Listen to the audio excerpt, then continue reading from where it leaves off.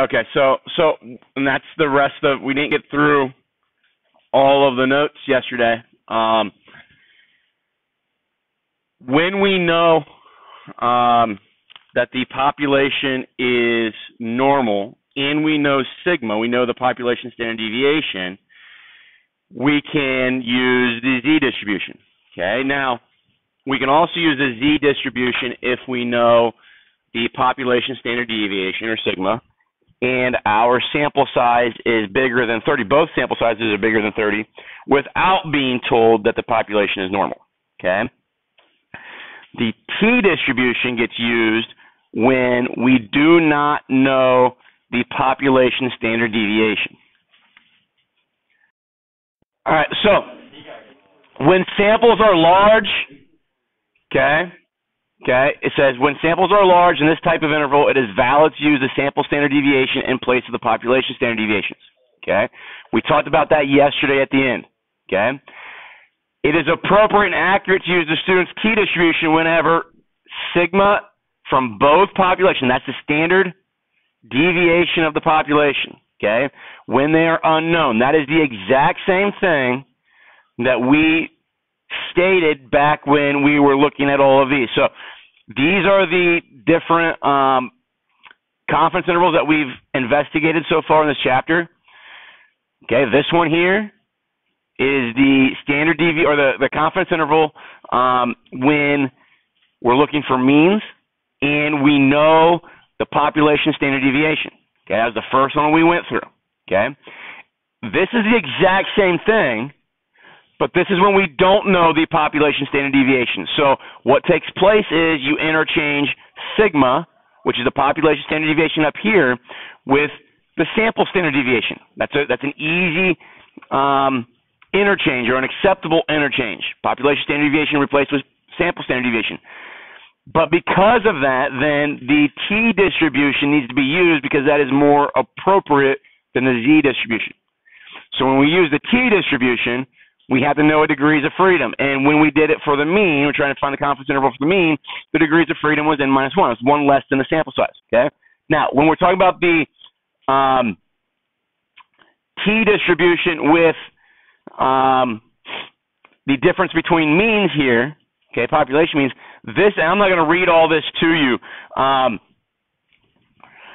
there's a formula, it's called Satterthwaite's uh, approximation. This is the best way, or one of the best ways, uh, to find our degrees of freedom for this problem. That's pretty messy, yes? Okay. Um,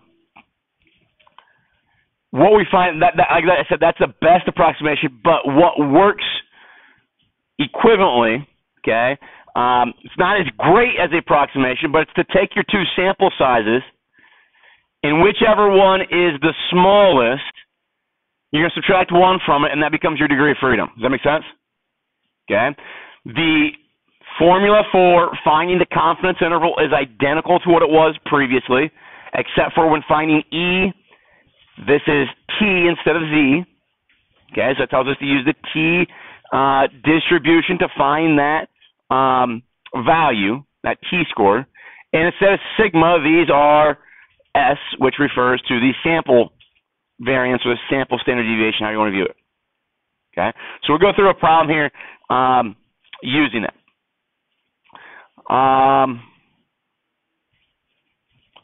see if I've got one here where we've got.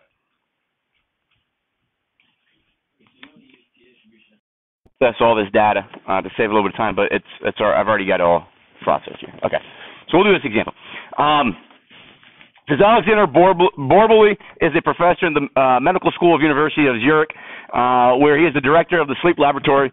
Um, his colleagues are experts on sleep dreams and sleep disorders. In his book Secrets of Sleep, Dr. Uh, Borbely discusses brain waves, which are measured in hertz. Okay, the number of oscillations per second. So it's rapid brain waves, which they call wakefulness, are in the range of 16 to 25 hertz. Slow brain waves, which is our sleep, uh, are in range of 4 to 8 hertz. So during normal sleep, a person goes through several cycles. Each cycle is about 90 minutes of brain waves from rapid to slow and back to rapid. During deep sleep, brain waves are at their slowest. In the book, uh, the professor comments that alcohol is a poor sleep aid. in one study, a number of subjects were given half a liter of red wine before they went to sleep. The subjects fell asleep quickly but did not remain asleep the entire night. Toward morning between 4 and 6, they tended to wake up and have trouble going back to sleep. So suppose that a random sample of 29 college students were randomly divided into two groups. The first group, 15 people, uh, was given half a liter of red wine before they went to sleep. The second group, 14 people, were given no alcohol before going to sleep. Everyone in both groups went to sleep at 11 p.m. The average brain activity um, from 4 to 6 a.m. was determined for each individual in the groups, and these are the results. Okay? So basically, what they're trying to say is we have this idea or thought, this hypothesis that uh, they're going to, that by drinking the alcohol, they wake up early and can't go back to sleep. They don't get as much rest as somebody without it. Okay? So they took and monitored brain waves uh, for both groups. Okay? So this is our control group no alcohol, and this is our treatment group with alcohol, right? And we record their brain activity, and then we can make a decision here in a moment that's going to allow us to decide, yes, our thought was true, or no, our thought was um, we don't have information to support it. Okay, um, so because we don't know as we go through this, we do not know the population standard deviation. Okay, we do not know. Um, obviously the population of people that go to sleep with a half a liter of alcohol in their system. We don't know that population. Does that make sense? So we don't know that standard deviation. So in that instance, then we are going to look at uh, using x bar minus y bar minus e is less than mu one minus mu two less than x bar minus y bar plus E. But because we do not know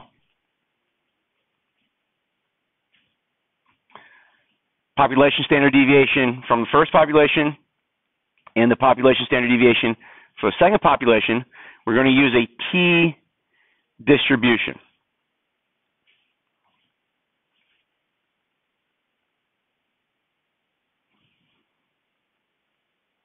Okay? T distribution must be utilized. So in that instance, when we use the t distribution, okay, E is going to be t so alpha over 2, okay? Then we're going to have the square root. It'll be the sample standard deviation squared over that sample size plus the sample standard deviation squared of the second sample divided by its size. That's the same formula as we were using with Z, except for that number right there. Okay? And we've talked about how that we can interchange population standard deviations and sample standard deviations um, easily. Okay?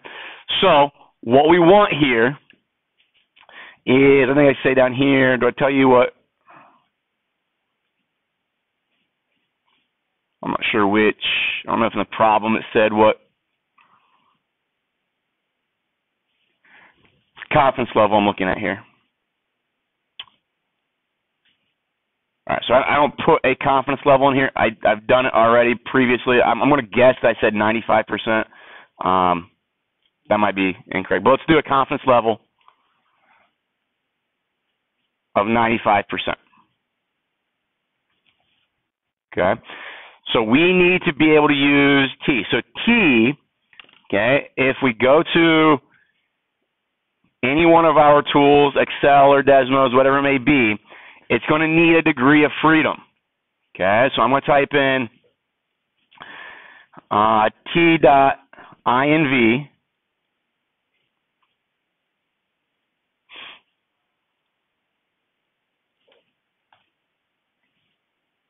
Okay, and says it returns the left-tailed inverse of the student t distribution, and that's what we want. Okay, so, but I'm reminding myself that it, it returns the left tail.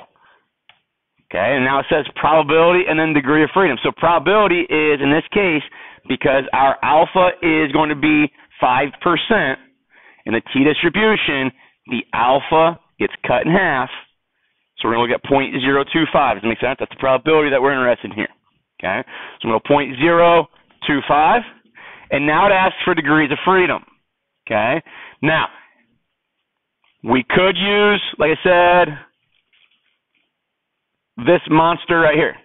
Okay? And what we would find out, we have all that information. We have M, which is the sample size of the first population or first sample.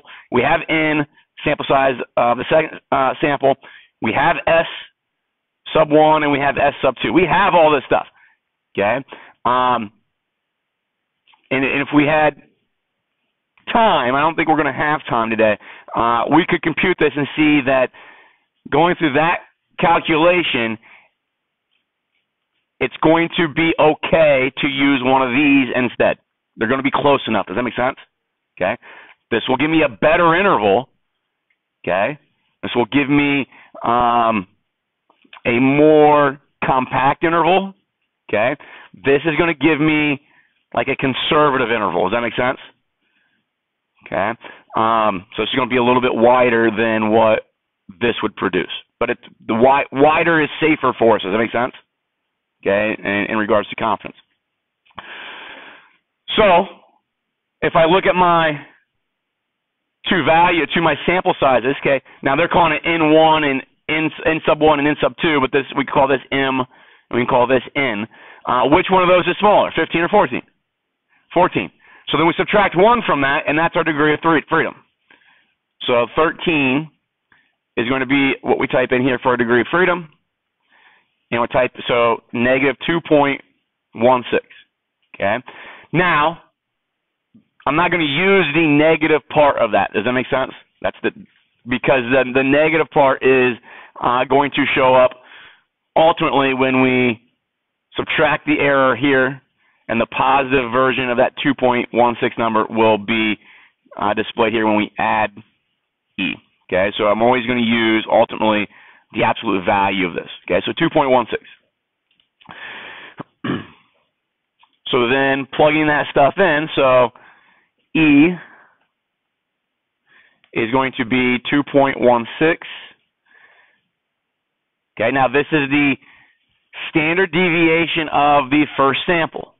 Well, if we go through here, it says for group one, we have the sample mean and standard deviation of this right there. So this was the raw data. Okay, and if I didn't have this already listed for us, we would have had to go to Excel, type that raw data in, and ask it to find the sample standard deviation or the sample variance. They give it to us here. Okay, so I'm going to put 1.86 squared. Okay, and we're going to divide that by M, which is the sample size, so 15. Plus, and now we're going to go to the other group, the other sample, and we have that standard deviation for that sample, 1.91 squared, and then 14 is the size of that sample. Okay? Okay. Now, group one and this is I, I just think this is the best thing to do. I go, I go alphabetical. I'm gonna let group one be my x variable, group two be my y variable. Okay, so when I go x bar minus y bar, when I go sample mean minus sample mean, okay, it's going to be 19.65 minus 6.59. Is that okay everybody? Okay. Um, so then we're going to, once we have all this written down, it's just a matter of figuring out what this calculates to, what this calculates to, and then plugging those things into this interval. Okay, so I'm just going to grab Excel or Desmos, doesn't matter. Use Desmos, it's easier to type in.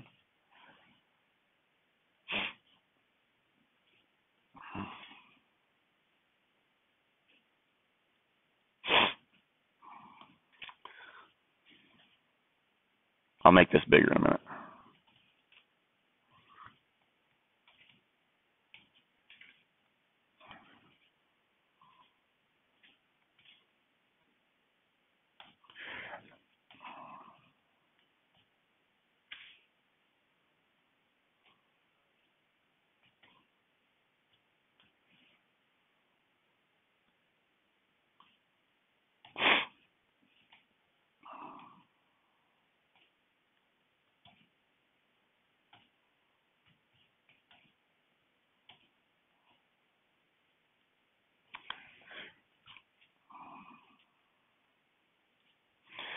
All right, so typing those two values in, or those two um, quantities, we get these back. Okay. Um, now what we're going to do is we're going to take x bar minus y bar, which I've identified here as that m, and we're going to subtract the error from it, and I get that number. Know, I want to add the error to it, and I get that number. It's 11.54 and 14.57. Okay, um, which I just want to take a quick glance. Okay, so I must have used a different. You see, those are different right here, 11.8 and 14.3. Um, a little bit different. Um, I'm going to use a different confidence interval uh, when I when I pre-wrote these notes. Okay. Yes, please.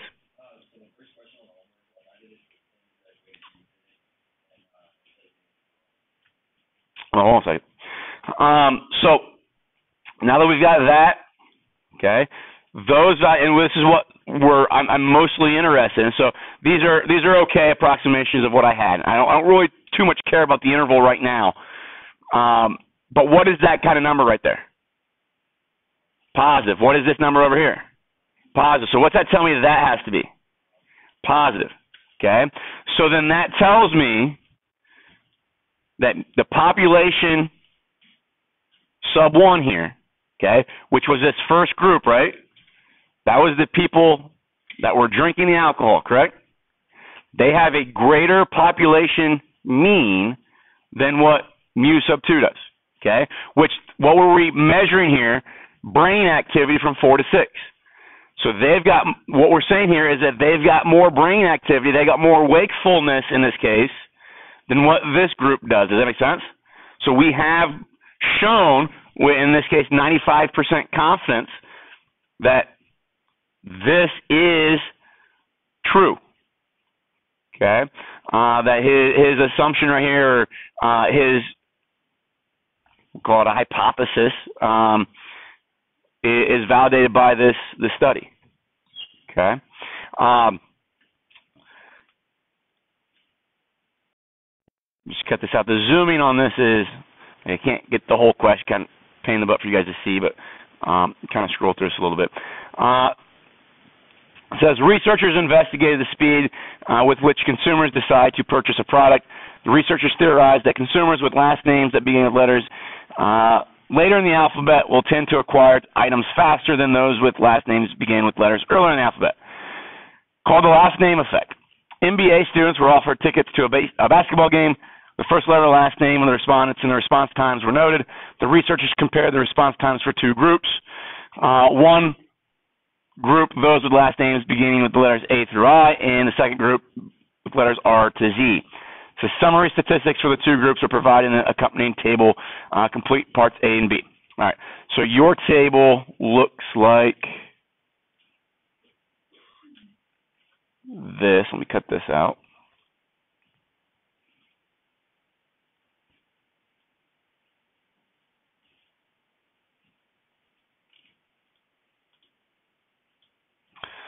So that's what your table looks like. Okay. Um, so we want to see is there a difference in response times? Okay. Um, so when we go, it's going to be x bar minus y bar minus e less than mu one minus mu two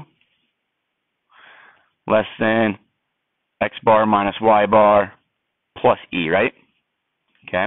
Um, now we've got everything we need here. It's already processed. So what I'm going to do is just kind of take the uh, the information that I have here and just replace it with what's coming up from this problem. Does that make sense?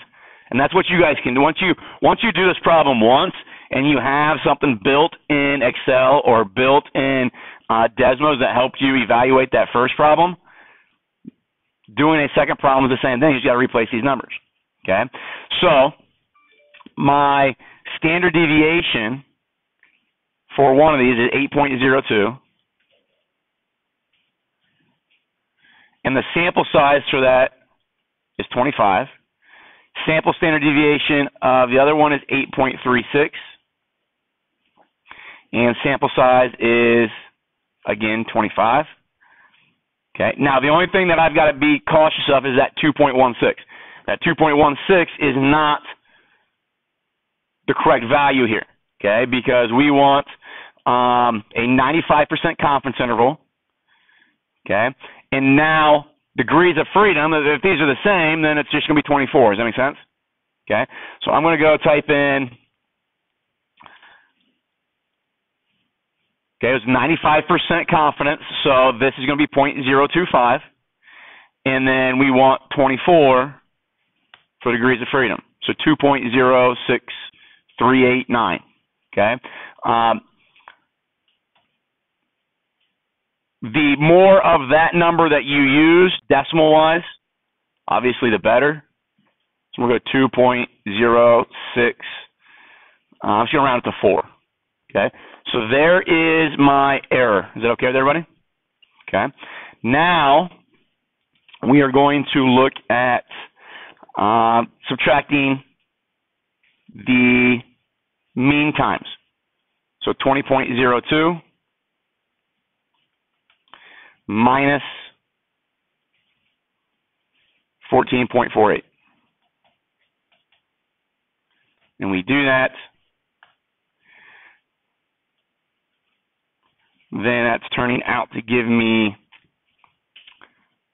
this here, which if we look at yours, it's giving me the 0.88.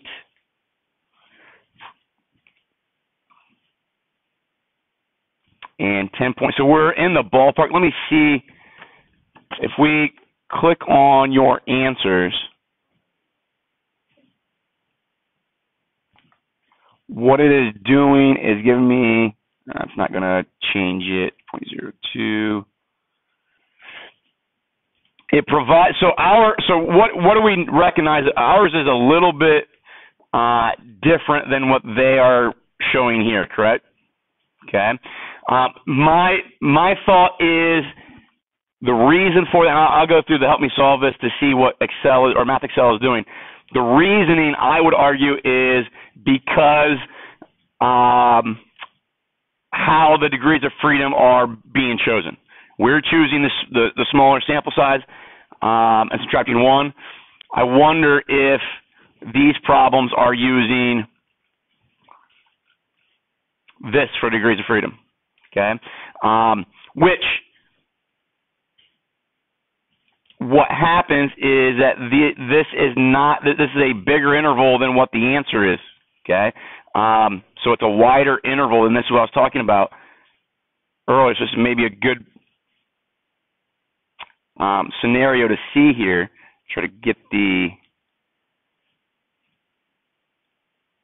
Why won't that show up in the background?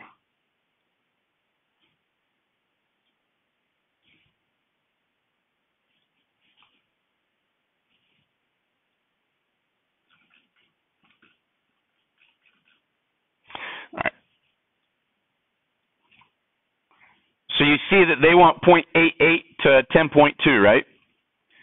So if I was to put that on a number line, okay, maybe 0.88 is there and 10.2 is there. We just found so that's that's the interval that they're looking for. Okay, we just found an interval that goes from like 0.7 to something to uh, like 10.3 something.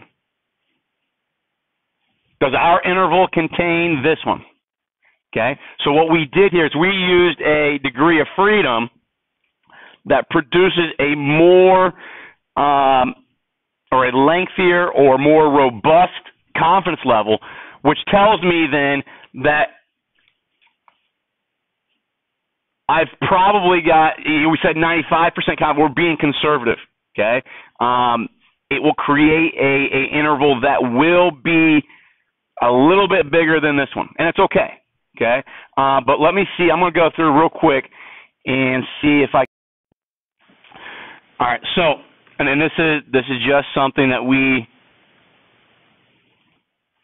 we have to understand how some textbooks are. The author is saying, okay, we want to use this Satterthwaite uh, formula. Some textbooks will say, well, an approximation will be good enough by using m minus one or n minus one, depending on which one's smaller. Another option, okay, is to use a degree of freedom that is n plus m minus 2. Okay? If we do that, so that would be our, our n and m were both 25, subtract 2 from would be 48. If we plug 48 into our T inverse as our degrees of freedom, 48, okay, gives me that number there. If I interchange that number for my T score, okay, see how that then fixes these to 0.88 and 10.2? Okay. I am not worried about the the procedure in this, and, and on, to, I'm not going to give you one of these tomorrow. Okay. Um, but I want us to be able to say, okay, once we get down to this here, okay, can I make a conclusion about mu one and mu two? Okay, that's really the goal.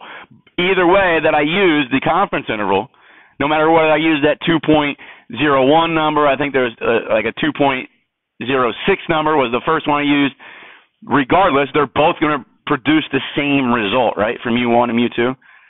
Okay, whether I use, um, I guess in your guys' problem it was the, the 0.7 number to 10.3 or 0.8 to 10.2, they're both still positive, so mu1 is still going to be um, less than mu2. Okay, or I guess mu1 will be greater than mu2 in that one. Does that answer your question?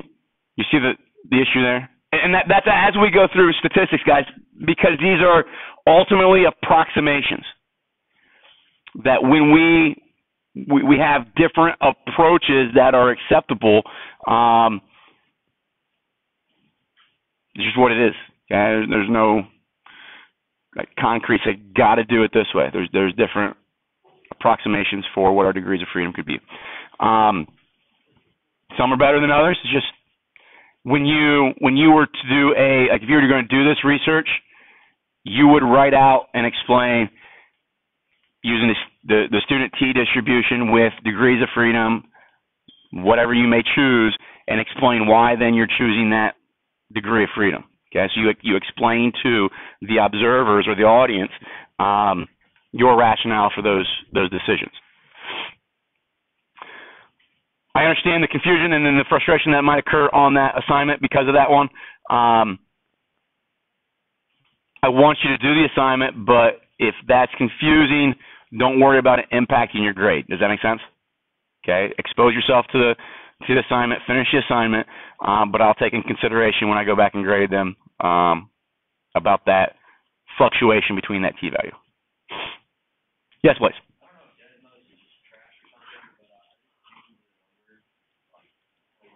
Yeah.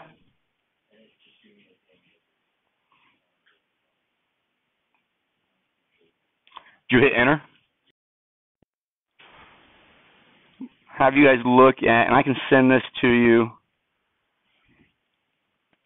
This here is kind of a breakdown of the five different confidence intervals that we've been working on since beginning of February.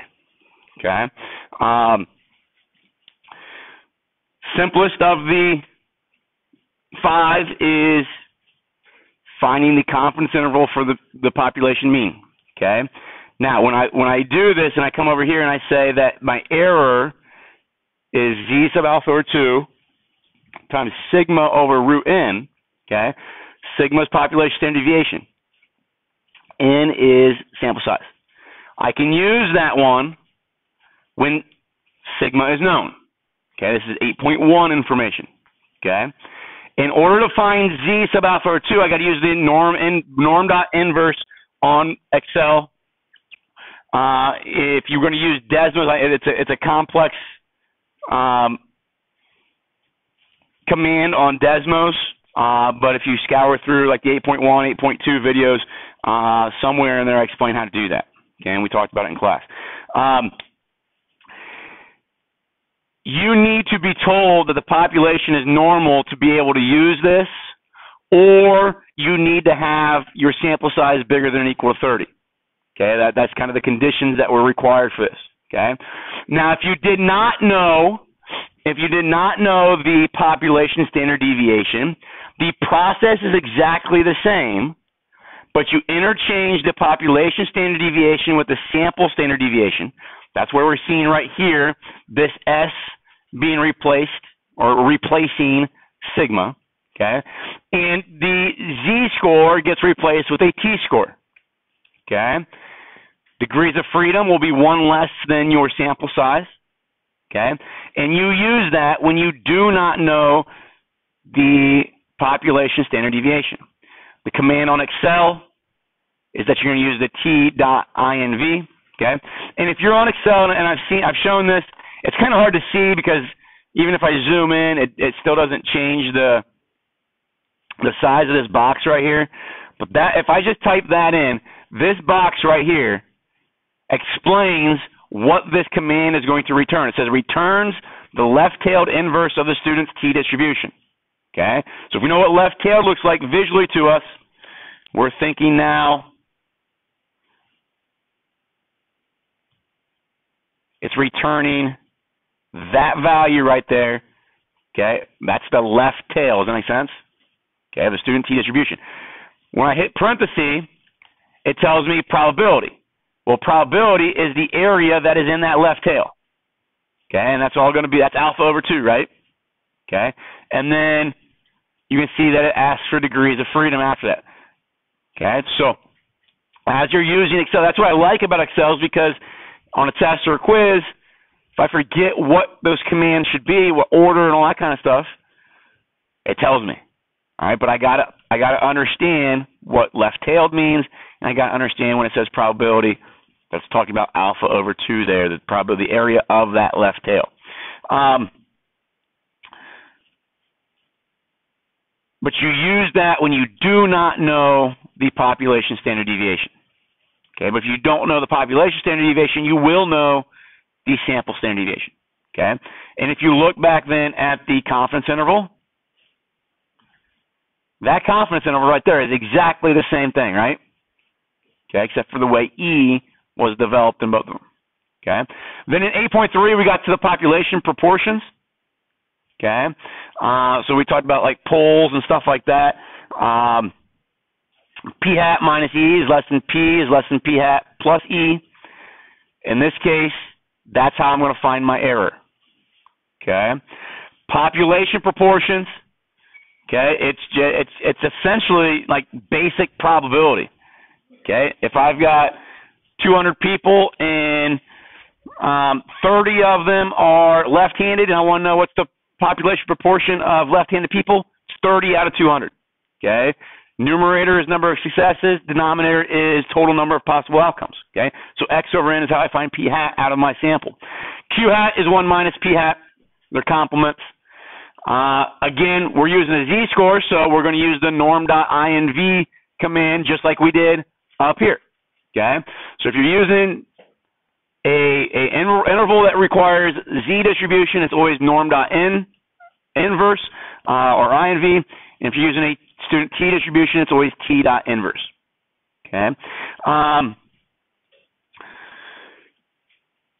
the one thing that has to be true, okay, is that n times p hat has got to be greater than 5, greater or equal 5, and n times q hat has to be greater than equal 5. And the reason we do that is because the binomial aspect of um, the situation, okay, if, if I'm looking at a population proportion, I can't be left-handed and be right-handed. Okay, you do have ambidextrous people, but one of them, if, if you're ambidextrous, you are better with one of those hands, right? Therefore, you would be considered right-handed if you're better with your right hand or left with your left hand. Okay with everybody? So you can they're essentially independent outcomes. Um, because of that, then we can be guaranteed normality. Which then, if we're guaranteed normality, that tells us that we can use this z distribution. Okay, um, which those are little things. Those those are the kinds of questions that I'll ask that will like bolster the amount of questions in the assignment, the the the, the, the test that you won't do a calculation with. Does that make sense? You'll read it. This is a um, a content question in, in regards to uh, or in comparison to a, a, calculation question, actually finding the confidence intervals. Um, Here's your chi-square stuff. Okay, remember, I, I think this is the best way to find your chi-squared values. Okay, this is going to give you your chi-squared left, and this will give you your chi-squared right. All right. Um, we use that for uh, finding the, the interval for variance or standard deviation. If we want to take square root of everything, then you must be told the population is normal in order to do that. Okay. And then the last one, we just talked about the difference between the means. Um, again, using norm inverse. I would, the things that we talked about today with the student t distribution, I'm not going to give you one of those on the test just because of the degree of freedom issue that we realized today. Okay. Um, if I give you a difference of means on the test, it will incorporate the z distribution. Okay, you will know the population standard deviations. Keaton, question?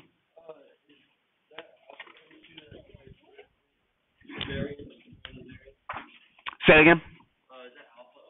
Yes, alpha over two. Yep, yep, yep. I will. I'll send that. Would you guys be okay if I send that to you? Uh, now, when I send I don't know how it'll send because it'll it'll send in OneNote. Um, if you open it and like it didn't come through the way you think it should, email me and I'll uh, I'll try to fix it and send it back. Okay. Um, but before I, I guess before I send it through OneNote, I'll see if I can like export it as a PDF. I might be able to do that.